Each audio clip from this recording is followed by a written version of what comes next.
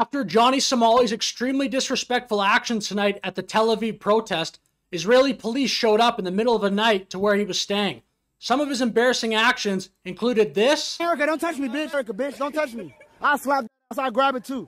And this. Oh, you a bad bitch. I swear to God. You a bad bitch. I'll take you to dinner. As well as this, which eventually led to him being dragged away by police. I'm, I'm, I'm in the sidewalk. I'm in the sidewalk. Don't touch me. I'm in the sidewalk. I'm in the sidewalk. What the fuck? Okay, okay, okay, okay, I'll go, I'll go. What the fuck? Okay, let's go. Relax. What are you doing? I'm going, I'm going. I'm going. nigga. What the fuck? Film oh, it, film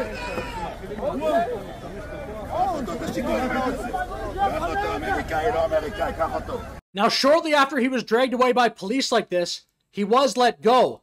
However, that brings us to right now, actually about 30, 40 minutes ago, when police came to his place he was staying, a hotel or a hostel or something in Israel. Please, can I put a t-shirt on? Like, what kind of respect is this? Come on, have some respect. Have some respect. What is going on? Is normal to come in a hotel room with someone with no shirt on? Yes. Can we, let's do this downstairs. You're gonna get me kicked out of my hotel. You're gonna get me kicked out of my hotel, man. To my lawyer. You sure? Yes, I'm sure. You feel good? I want to talk to my lawyer. Okay. This is harassment. I'm being harassed. Hmm? I'm being harassed. This is the second time. I don't know. The second time police is I coming came to my here also to ask you how, how do you feel. That's all.